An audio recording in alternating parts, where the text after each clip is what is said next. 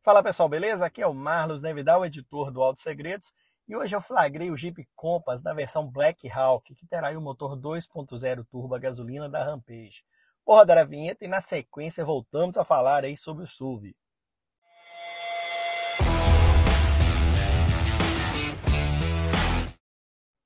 A estreia da nova motorização para o Jeep Compass ocorrerá ainda no primeiro trimestre de 2024.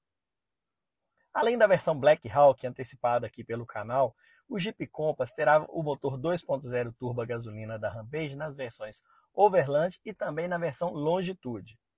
O Jeep Compass flagrado aí na versão Black Hawk terá rodas 19 polegadas pintadas em preto.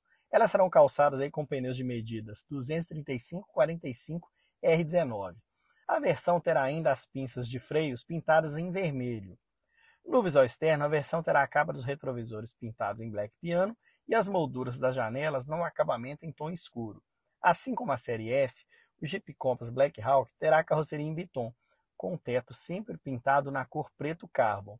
Na grade dianteira, a moldura terá acabamento em black piano. Na traseira, o destaque é a saída dupla de escapamento com acabamento em preto.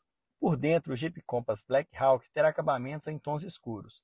O protótipo estava com um insufilme bem escuro e ainda com a camuflagem no vidro traseiro para esconder os novos acabamentos. O nome da versão estará estampado ali no encosto dos bancos dianteiros.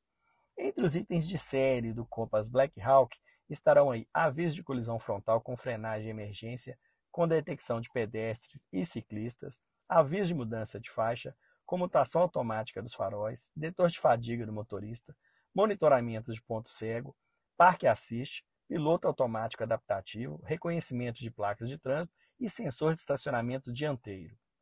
O motor do Jeep Compass Black Hawk será o 2.0 Hurricane 4 a gasolina, que rende aí 272 cavalos de potência e torque de 40,7 kgfm. O câmbio será automático de 9 marchas e a tração será aí 4x4. Comente e nos diga se o Compass 2.0 fará sucesso no Brasil. Se gostou do vídeo, compartilhe, curta o nosso canal e ative o sininho para receber as nossas notificações, ajudando assim no crescimento do nosso trabalho. Um abraço a todos e até o próximo vídeo. Valeu, galera, até mais!